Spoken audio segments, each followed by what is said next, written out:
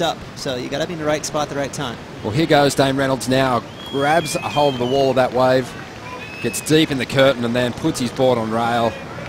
Just that raw style coming to the fore. Loving the fact that he's in the draw here.